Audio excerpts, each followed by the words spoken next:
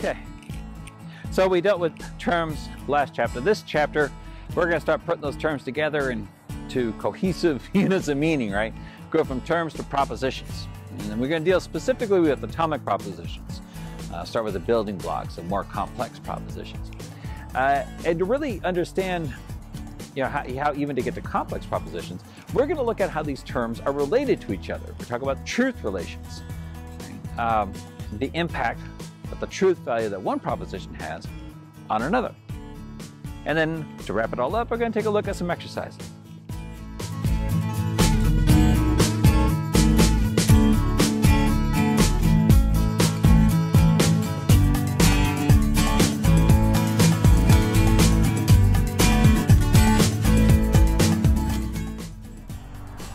So as I mentioned, this chapter we're dealing with atomic propositions. Now, a proposition, uh, like I said, is something that's either true or false, right? And we express these using sentences. Now, last chapter we dealt with terms. Now, terms are not what are true or false. Terms either define or fail to define. Um, propositions are composed of terms, but they themselves are not the same thing as terms. So I, I can have a term, right? Uh, tree, tree, another term, tall. And these have definitions, these have meanings. It isn't until I combine them that I get a proposition, and specifically an atomic proposition. Uh, the tree is tall. The tree is tall. So an atomic proposition is composed of a subject and a predicate. In this case, the tree, the subject, what's being described, and the predicate, tall, was doing the describing. So we got an atomic proposition. Uh, this is uh, a statement that's either true or false. Right? Propositions are statements that are true or false. Now, you know, we're talking about atomic propositions. Well, they're, they're not atomic in the sense that they're used in fission, right? In nuclear fission. That's, that's not what I'm talking about. Uh, the word atom that we use in English is derived from a Greek word, atomos. And that's, this in itself, it means indivisible. And this word itself, atomos, is, is a, a, combination of two other words in Greek, a, meaning not, and I think it's pronounced timnin or tiamnin, something like that, uh, in Greek meaning to cut. So in Greek, literally not to cut, right? indivisible, not to cut. So these propositions are atomic in this sense. You can't break them apart anymore and still have a proposition. I could simply say the tree Right, but I haven't actually uttered a proposition. I haven't even uttered a sentence, at least not a complete one. Uh, I can say is tall. When you separate either the subject or the predicate, you no longer have a proposition. I can still break apart the proposition, but it's atomic in the sense that it is no longer a proposition. So, uh, what a contrast! So, you know, that, that's one way to understand atomic propositions. That's what they are. It's a subject and a predicate. And I want to be careful to contrast this to complex propositions. Now, complex propositions are still propositions. They're things that are true or false, right? So here's an atomic proposition. The tree is tall, and there's another one. The sky is cloudy. Okay. Well, I, I can combine these two propositions to form uh, these two atomic propositions to form a complex proposition. Okay. The tree is tall and the sky is cloudy. Right, there's a complex proposition. It is composed of two atomic propositions. Now, a complex proposition could be broken apart, and you still have a proposition. Right? So the tree, so the two parts of a complex proposition: the tree is tall. That's one part. The other part, the sky is cloudy. Right? I take out the tree is tall from the complex proposition. I still have a proposition. Hmm. Complex propositions are composed of atomic propositions, or you know, even smaller, complex propositions. But an atomic proposition, you can't break that apart even further. And this is the atomic proposition is, is the basic unit of truth, right? This is the basic unit of at least what we can express, uh, how we can express the truth. When I say the tree, I haven't said anything is true or false. I'm just it's in the definite article and a subject, right? That's it. Uh, it isn't until I say the tree is tall that I've uttered a proposition.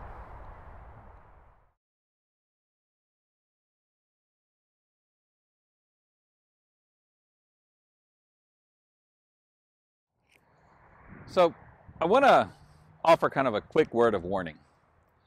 Uh, atomic propositions need not be short. so I just used the tree is tall as an example. That, that's, a, that's a very short sentence. It's not a long, complicated sentence. But atomic propositions can be long and complicated. All right, so say something like, uh, the first form of government that existed immediately after the American Revolutionary War differed in important respects from our current form of government. That's a long-ish sentence. At least it's longer than uh, the tree is tall. Now, believe it or not, that's an atomic proposition. It's got a lot of modifiers in it. It's kind of a complex description of a subject and a predicate, but that's an atomic proposition. So, for just to kind of spell it out, uh, the first form of government that existed immediately after the American Revolutionary War, that's not a complete sentence. That is not something that's either true or false. And in, in this case, it's the subject. The uh, phrase, right, uh, differed in important respects from our current system of government. That is also not a complete sentence. That's a phrase. Uh, it isn't until you put those together that you actually have an atomic proposition. Okay, so first warning, atomic propositions are not always short. they can be long and an atomic proposition. Uh, second warning, not just any sentence is a proposition. There are lots of sentences that are not propositions. So uh, the type of sentence that expresses a proposition is called a declarative, right? It's something that's either true or false. Other kinds of sentences would be something like imperative, right? Look at the tree. Look at the tree, right? Imperative, that's a command. That's a command. You, the, the idea is that's not something that's true or false. Look at the tree is not true or false. That's either something that you follow or don't follow. An interrogative is a question. Uh, it's a request for information. So what color is the tree? That is also not something that's true or false, right? It's requesting something that's true or false, but uh, it's not itself true or false. And then you have exclamations, right? Exclamations. These are expressions of you know, emotional um, approval or disapproval or maybe pain or sadness or something like that. So something like, oh, what a beautiful tree. Right? That's an exclamation. That's not something that's true or false. So two warnings. First, atomic propositions need not be short. And second, not just any sentence is an atomic proposition.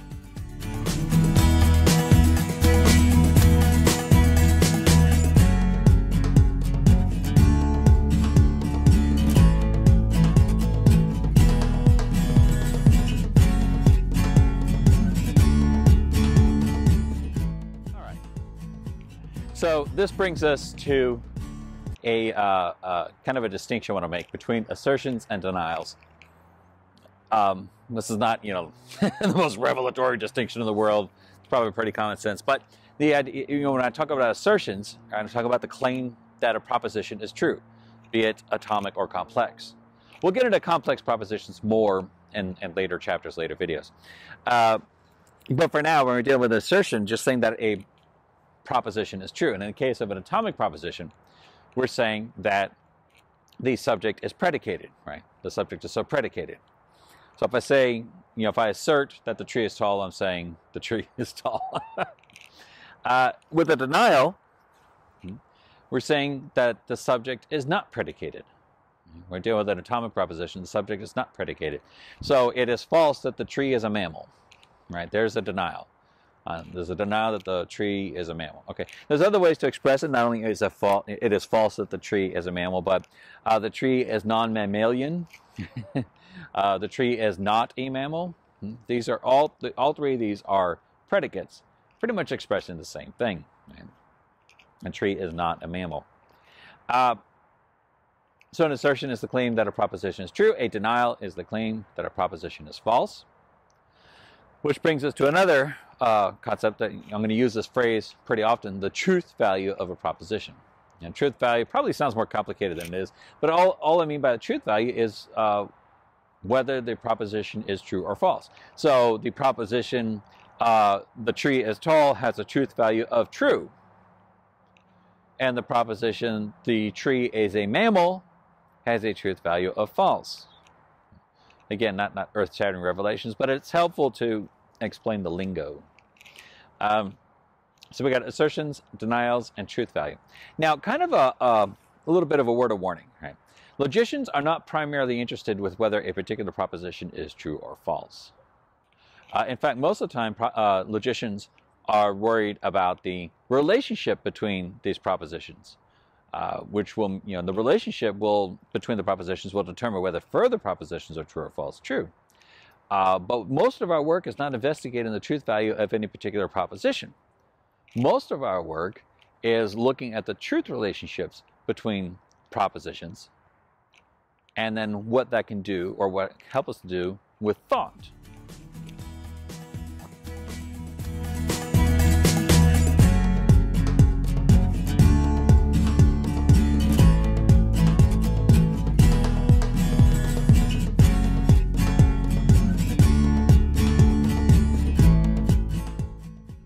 So I very briefly mentioned truth relation. Some propositions have an impact on other propositions. Specifically, the truth value of one proposition can impact the truth value of another proposition or a second proposition. So we have a proposition. Uh, see, this, this tree is a plant. This tree is a plant. Well, that has an impact on another proposition. Uh, this tree is a living organism. If it's true that this tree is a plant, it's also true that this tree is a living organism. So the truth value of the first has an impact on the truth value of the second proposition. Uh, it's not just true to true, right? Uh, it's true that this tree is a plant, so it's false that this tree is a mammal. If it's true that this tree is a plant, it's false that this tree is a mammal. So it's true to false. Now, I, mentioned truth values. So we're only dealing with two kinds of truth values, true and false. We're not dealing with mostly true or kind of true or sort of false, right? These are the only two truth values, true and false in this course. So if we're dealing with one relationship, you know, one proposition to a second, uh, and that first proposition has two possible truth values, right? It's either true or false. And we do the relationship to a second, and that second proposition has two possible two possible truth values, true or false. Then we have four kinds. We have four, not four kinds, but we have four simple truth relations. Four simple truth relations.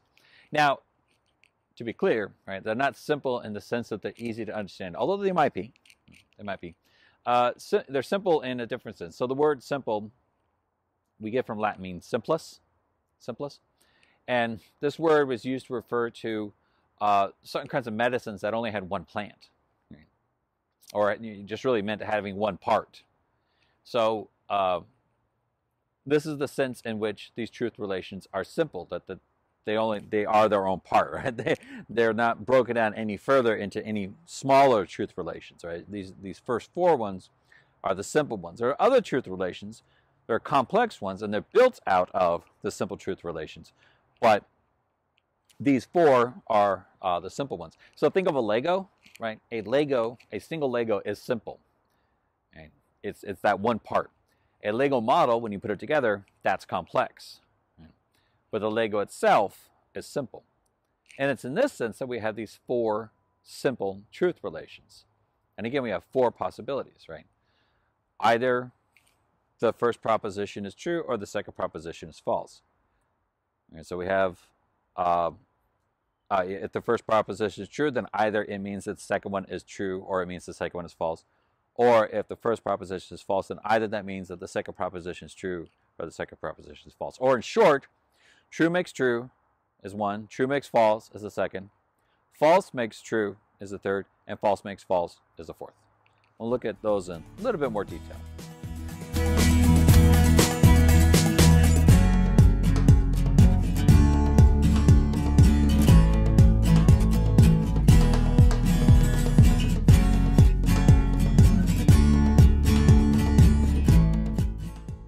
Okay, let's start with those truth relations that begin uh, with the proposition, the first proposition being true.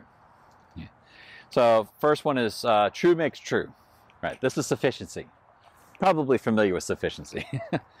um, So the what this means is the truth of the first proposition means that the second proposition is also true.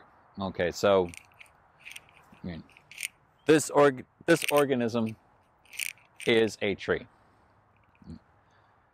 This organism is a tree. Well, if that was true, that is sufficient for another proposition. Namely, this organism is a plant. This organism is a plant. Uh, if this organism is a tree is true, then it's also true that this organism is a plant. Suppose we have another proposition. Uh, my pet is a dog. My pet is a dog. Uh, if that is true, it's sufficient for a second proposition, namely, my pet is a mammal. So my pet is a dog is sufficient for my pet is a mammal.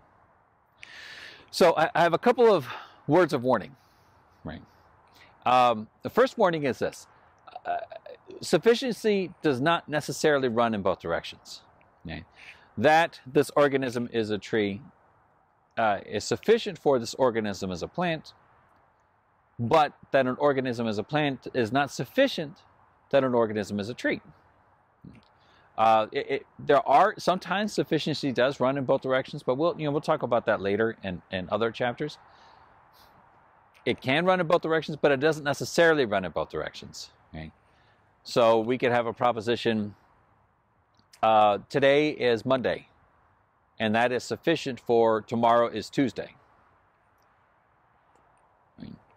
Well, by the way, tomorrow is Tuesday is sufficient for today is Monday. It can run in both directions, but it doesn't necessarily run in both directions. Now that's the first word of warning. Just because uh, just because one proposition is sufficient for the second does not necessitate that the second is sufficient for the first. It can be, but it doesn't necessitate. Second word of warning. All sufficiency claims that if the first proposition is true, then the second is also true. Sufficiency does not claim that the first proposition is true. So we have another uh, so, so for example, let's try another one. Uh, my, my pet is a cat. If that's true, it's sufficient for my pet is a mammal. Now, my pet, in fact, my pet is not a cat. My pet is not a cat. But the truth relationship still stands between those two propositions. All sufficiency claims is if the, if the first proposition is true, the second proposition is also true. It makes no claim as to whether the first or the second proposition is in fact true. So that that's sufficiency. True makes true. Okay? Uh, sufficiency doesn't necessarily run in both directions, but it can. And uh, sufficiency does not claim that the first first proposition is in fact true. All right, let's look at another proposition. Let's look at another truth relation beginning with the first proposition being true. So we looked at true makes true, that's sufficiency. Let's look at true makes false. Right? The truth of one proposition means another is false. Okay, a second is false. So um, this is called contrary or contrariety. Okay? So this organism is a tree. Know, if that's true, it's contrary to another proposition, namely uh, this organism is a dog. uh, the first proposition is contrary to the second. If it's true, the second is false. Uh, you know, if it's true that that organism is a tree, then it's false that the organism is a dog. Okay. So a couple of words of warning about uh, contrary. Um, as with uh, sufficiency, we're not necessarily claiming that the first proposition is true. So, um, you know, you think about, you know, uh, actually, what's kind of related to that is, by the way, it's possible that both are false, right? So let's take a proposition my pet is a cat. That is contrary to uh, my, uh, uh, my pet is a tree right? My pet is a cat, and that's contrary to my pet is a tree. Now, as with sufficiency, nobody's it isn't necessarily the case that the first proposition is in fact true, because as I mentioned, it's false my pet is a cat.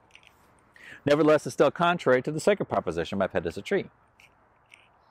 Now, having said that, you know, when we talk about contra- contrary, all that's being claimed is if the first proposition is true, then the second is false. By the way, it's possible that both are false.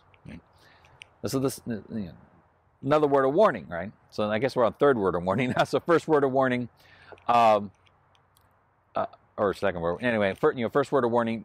Uh, it need not be that it's not necessarily the case that the first proposition is true. Second word of warning. So I guess second word of warning. It's possible that both are false, right?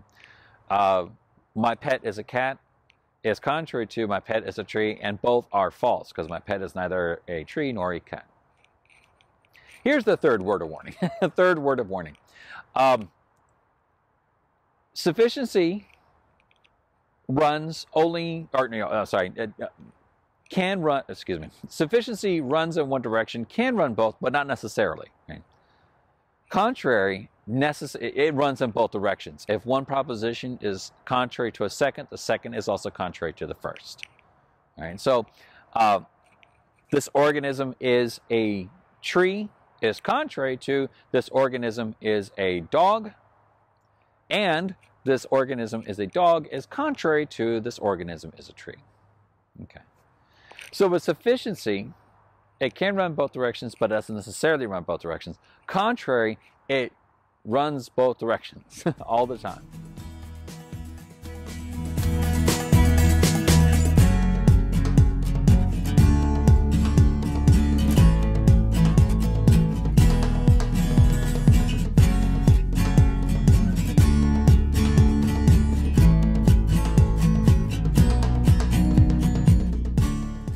So the last two truth relations we looked at started with the first proposition being true. The second two truth, truth relations we're going to look at start with the first proposition as false. So uh, let's try, let's do with this one. False makes true. so the error of the first proposition means that the second proposition is true. This is called subcontrary. Subcontrary. Uh, some really good examples of subcontrary relationships are things like explanations. Mm. So we have a certain phenomenon, and you know, given that phenomenon, there's, there's a couple of different things are possible, right? This is the way of talking about it. So maybe a really ready example for something like this would be uh, when you're logging into, say, your account at school, and you get that error message, and the error message says either you uh, either the username is incorrect or the uh, password is incorrect. Okay. So, uh, well, this is these are subcontrary relationships or subcontrary propositions, right? Uh, your username is incorrect. It, you know, suppose you like you double check, right? You look at the little field, you see your username, and lo and behold, it's all typed in correctly. uh, well, then it's false that your username is incorrect. So, it must be it must be the case that your password is incorrect. So the, these two propositions are subcontrary. The error of the first means that the second is true. So a couple of words of warning. Uh, as before, with sufficiency and, and contra contrariety, yeah, this is just the truth relation. Right? This is just the truth relation. The truth relation says if the first is uh, false, then the second is true. But it doesn't necessitate that the first is in fact false. Right? It doesn't doesn't mean that the first is in fact false. Uh, it, you know, it could be that you entered your username incorrectly, right? Um, but there still would be a truth relationship between your username is, is incorrect and your uh, password is incorrect. Uh, so that's the first word of warning. Doesn't necessitate that the first proposition is in fact false. Second word of warning, it's possible that both propositions are true, right? So with subcontrary relationships. You know, with contrary, it was possible that both are false, right? Contrary means that the first is true, the second is false, but both could be false. This one for subcontrary says it, they both can be true. Okay? So suppose you, you type it in that first time you get the error message, and you look at your your name in the in the field. It's like, oh, I did get my username incorrect. Well, it's also still possible that you typed in the wrong password too. Right? This can't happen. So that's the second word of warning. It's possible that both are in fact false. Uh, uh, sorry, both are, are uh, in fact true. It's possible both are in fact true. Uh, third word of warning. uh, you know, contrary relationships run both directions, always and everywhere. So do subcontrary relationships. If the first proposition is subcontrary to the second, the second is subcontrary to the first. Okay. So that's false makes true. That's subcontrary. Last one is false makes false. This is necessary, necessity. False makes false. So, uh, let's try a tree again, right? Say that organism is a, is a mammal. That organism is a mammal. Well, if that's false, in fact is, right? If it's false, then it's also false that that organism is a dog. It's false that the organism is a mammal, so it's false that the organism is a dog. Um, the first proposition, if the first proposition is false, the second proposition is also false. That means that the first is necessary for the second. You take a look at that you know, over here again, right? You say this organism is a plant. If that's false, it's also false that that organism is a tree. Okay, so that's false makes false, necessity. False makes false. So again, some words of warning here. uh, as we saw, right, uh, this is just the truth relationship. If one proposition is ne necessary for a second, all it's saying is if the first is false then the second is also false, that doesn't mean the first is in fact false. We're just looking at the truth relationship between the two propositions. That's the first word of warning. Second word of warning, like sufficiency, necessity can run in two directions, but it doesn't but it doesn't always run in two directions. It can, but it doesn't always. So because a proposition is a first proposition is necessary for a second, it doesn't mean the second is also necessary for the first. It can, but it doesn't mean that. So, you know, thinking about our Monday and Tuesday example, right? Um, you know, today is Monday is necessary for tomorrow is Tuesday. If it's false that today is Monday, it's also false that tomorrow is Tuesday. By the way, if it's false that tomorrow is Tuesday, it's also false that today is Monday. Necessity can run in both directions, but it doesn't necessarily run in both directions, right? So, um, you know, it said this organism is a plant, is necessary for this organism is a tree. If it's false, this organism plant is false, this organism tree. But it, the reverse doesn't run the, the other direction, right? It, it, if it's false that an organism is a plant, that doesn't mean it's false that the organism, excuse me, if it's false that the organism is a tree, that doesn't mean that it's false that the organism is a plant, right? Because there's plenty of plants out here that are not trees. So first word of warning, sufficient just says if the first is false and the second is false, but it doesn't mean that the first is false. Second word of warning, necessity can run in both directions, but it doesn't always run in both directions.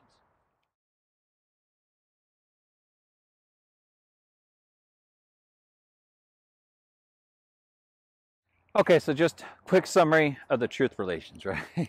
you got true makes true, true makes false, false makes true, false makes false. True makes true, that's sufficiency. True makes false, that's contrary. False makes true, that's subcontrary. False makes false, that's necessary. With all of them, right, with sufficiency and contrary, it's just the relationship. But just because one proposition, first proposition is sufficient for a second doesn't mean that the first the first proposition is true, just that the relationship stands. Same thing with contrary. And with subcontrary and necessity, you know, they both start with the assumption that the first proposition is false, but it doesn't necessarily mean the first proposition is false, right? Uh, the, the relationships just deal with the relationship, not whether the first proposition is in fact true or false. Uh, with sufficiency and necessity, it can run in the relationship can run in both directions, but doesn't doesn't always run in both directions. Right? It can, but it doesn't always. With contrary and subcontrary, that relationship always runs both directions. If the first is contrary to the second, the second is contrary to the first. If the first is subcontrary to the second, the second is subcontrary to the first. Okay. And then finally, uh, right, uh, contrary, it's possible both are false. It's possible both are false. All contrary says is really saying is at least one of these is false and maybe both. Not always, but maybe. And subcontrary, at least one of these is true. And maybe both. Not always, but maybe. So that's a quick summary, right? Quick sum up of the four simple truth relations. Now I want to mention one other thing, and that's irrelevant, right? Irrelevancy. Uh, irrelevant isn't really a relationship, it's the denial that there is a relationship, but we're fond of saying, well, that first proposition is irrelevant to the second. It's not really a relationship, just the denial that there is one. All right, so, you know, this happens, right? This organism is a tree. This organism is a tree. That, you know, assume it's true. That has no truth, that has no impact on the truth value of the sky is blue. It doesn't. Um, it could be that the sky is cloudy right? It could be that uh, it's dark outside, yeah, so the sky wouldn't be blue at all, right? It'd be pitch black. Uh, there's all kinds of ways the sky could be. There's no, but that's not impacted at all by whether this organism is uh, a tree. Uh, so there are irrelevancies between propositions. And the way you discover that is like, okay, assume, right? Assume the first proposition is true, and does it have an impact on the truth value of the second? If it doesn't, move on to the false. Assume the proposition is false. Does it have an impact on the truth value of the second? If it doesn't have an impact either way, the first is irrelevant to the second. First is irrelevant to the second. Okay. Now this is important because um, you know, it's important not only to be able to understand which truth relation exists between propositions, but whether a truth relation exists between propositions. If a truth relationship doesn't exist, uh, probably can't make an inference from the first to the second. right? Okay. So we've got atomic propositions. We dealt with that. We've got truth relations between atomic propositions. Now, let's look at some exercises dealing with these kinds of propositions.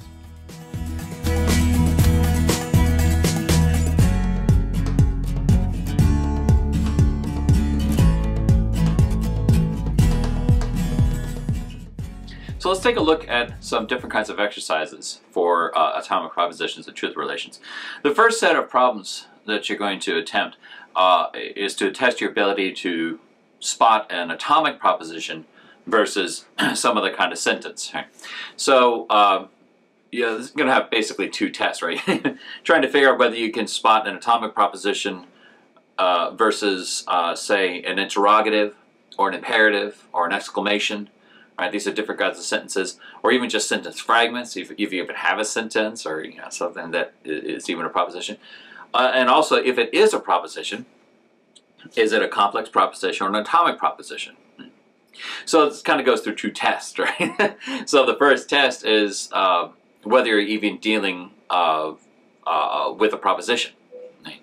So look at the sentence. You know, is it imperative? Does it make a command? Is it a, uh, a interrogative? Does it ask a question? Is it exclamation? Is it just, you know, emotional response? Or is it something that's true or false? Right? Is it something that's true or false? So that's the first test. Second test, if it's if it is a sentence that gives you something that's true or false, is it atomic? Right? Is it composed of a single subject and a single predicate, or is it somehow two subjects and two predicates, or at least two subjects and two predicates? Okay.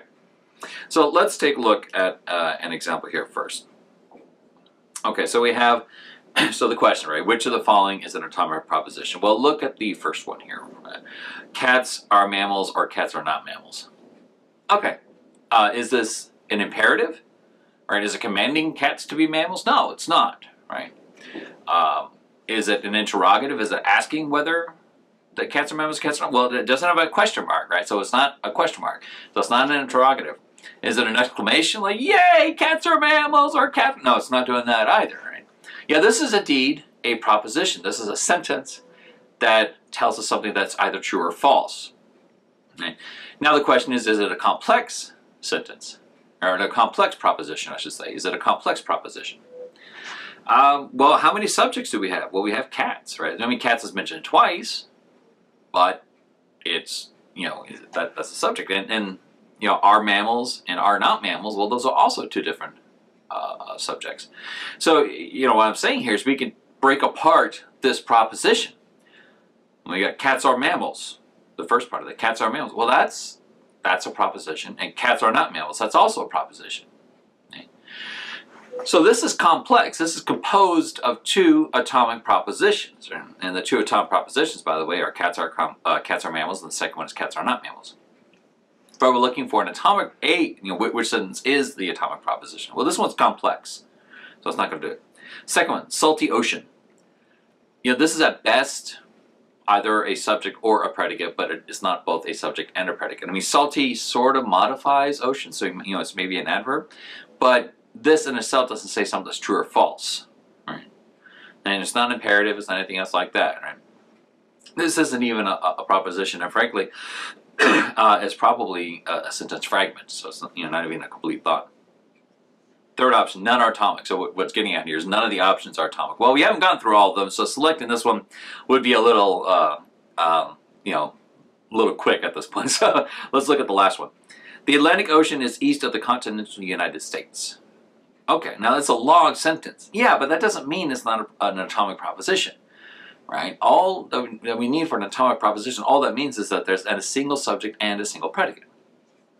Well, um, the Atlantic Ocean, that's the subject.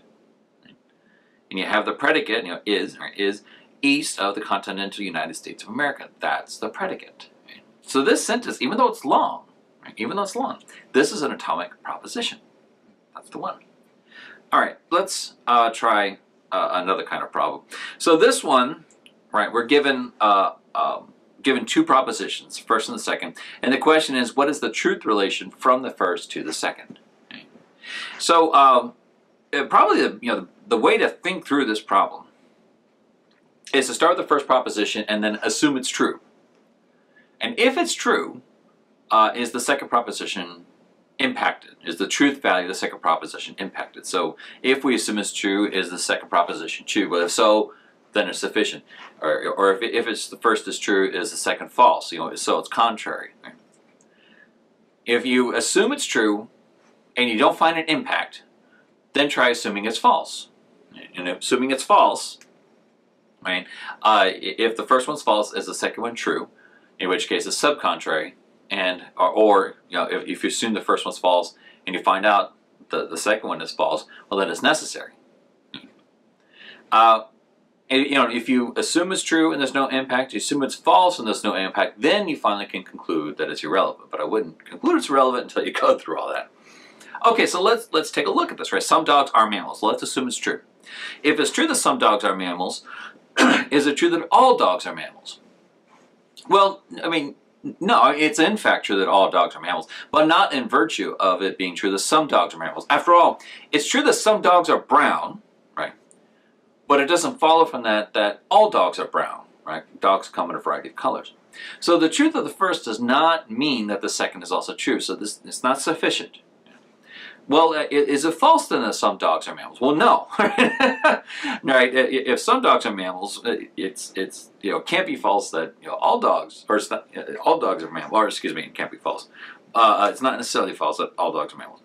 Um, yeah, so it, doesn't make doesn't make the second proposition false, right? Again, uh, um, uh, you know. Anyway, leave, leave that aside. Um, so you know, we didn't have any luck going from you know starting the, from the assumption that the first one's true. Well, let's assume it's false. Let's say it's false that some dogs are mammals. Is it then true that all dogs are mammals? Well, I mean, again, not from the first one, right? Not from the assumption the first one's false. So, for instance, we can assume that some that it's false that some dogs are what bright yellow. Right? We assume some dogs are bright yellow. We say that's false. What does it follow then that all dogs, uh, that it's true that all dogs are bright yellow? Well, no, right? It doesn't follow from that. So um, from the assumption that it's false that some dogs are mammals, right, it doesn't follow that it's true that all dogs are mammals. Well, uh, what about if we assume it, it's false that all dogs are mammals? Is it then uh, false that all dogs are mammals? Well, yeah, right? If it's false that some dogs are mammals, well then it is not the case that, you know, at least some of the dogs are not going to be mammals. Well, that's not the case that, that all dogs are mammals. So, you know, again, right, uh, if we say it's false that all dogs are, that, that some dogs are bright yellow, well, that's going to be false that all dogs are bright yellow. so, uh, the first one is false. If we assume the first one's false, well, then the second one right, is also false. That makes this necessary. Right? That makes this relationship necessary. The first one is necessary for the second. Okay. Last kind of problem. Whereas, you know, the problem we just looked at, we are given two propositions and we're trying to find the truth relationship from the first to the second. This one, we're given a single proposition and we're asked to find uh, which, uh, uh, you know, we say we, we have this proposition, well, which one is, in this case, is sufficient, right? Which one is sufficient as, uh, as uh, this, you know, um, uh, uh, uh, you know, we have this proposition, which for which proposition is this one sufficient? So we're supposed to go from the first with the truth relation to find another proposition. Now it could be sufficient, could be contrary, subcontrary, necessary, right? Whatever. But in this case, right, we have no dogs are brown. Mean, that's, you know, the given proposition below is sufficient for which of the following? Okay. So uh, on the so the way to do this, you kind of have to test them, right? We, we can't just sit here and start conceiving of all propositions that are true because it's true that no dogs are brown. Um, there's literally an infinite number, so I kind of to test the, the propositions. So if it's true that no dogs are brown, is it true that some dogs are brown? Well, no, right? Uh, that, that can't be true? So, uh, in fact, if it's true that no dogs are brown, it's false that some dogs are brown. Uh, so in this case, actually the first is contrary to the, uh, the second. Uh, if no dogs are brown, is it true that all dogs are brown? Again, no. Right? Again, no. In fact, these, you know, these are contrary to each uh, to each other. Uh, some brown animals are dogs, right? Well, if no, if it's false, sorry, if it's true that no dogs are brown, if it's true that no, you know, we have all the dogs and none are brown, well, this one says, well, some brown animals actually. Well, no. That that's also false. The first three are actually each contrary uh, the, you know, the, the three options are each contrary to the proposition. Well, you know, by process of elimination, we figured the last one is actually sufficient, uh, the, you know, the, the last proposition, what we're looking for.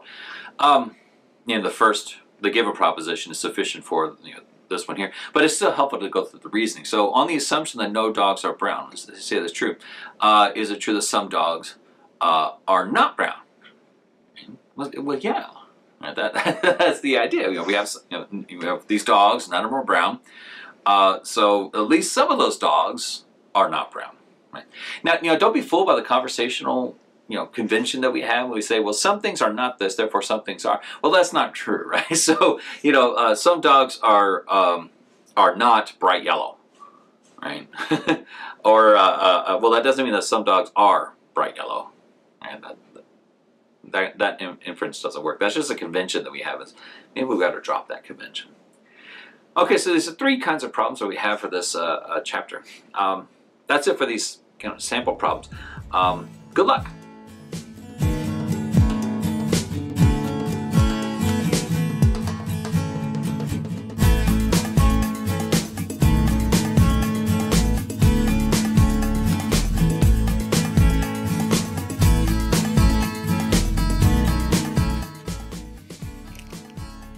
Okay, well, that's all I got for now.